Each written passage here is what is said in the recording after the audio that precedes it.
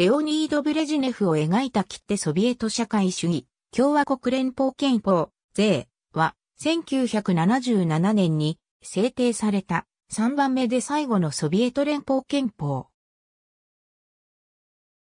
ブレジネフ憲法や1977年憲法などとも呼ばれている。1977年憲法は、レオニード・ブレジネフ時代の1977年10月7日に、第9期ソビエト連邦最高会議第7回特別会議で決定され、1936年憲法を置き換えた。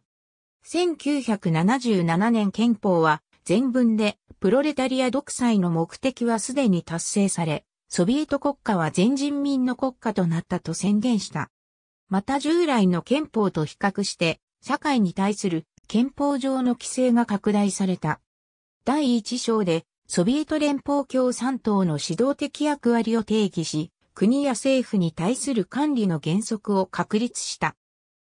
第一条は、ソビエト連邦を社会主義国家と定義するが、過去の憲法では、労働者、農民、知識人、及び国のすべての民族の勤労者の意思と利益を代表するすべての人民の社会主義国家となっていた箇所が、1977年憲法では、政府はすでに労働者と農民だけのものではない、との内容となった。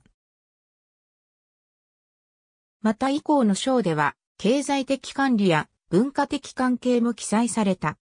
1977年憲法は長く詳細で、1936年憲法より28以上も条項が増えた。中央の連邦政府と各共和国政府の間の責任分担が正確に定義された。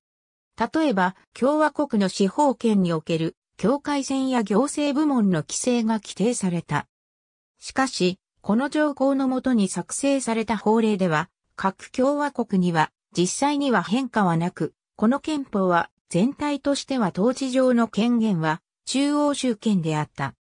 また過去のすべてのソビエト連邦の憲法と同様に、1977年憲法でも、ソビエト連邦を構成する各共和国に対して、ソビエト連邦から脱退する権利を維持した。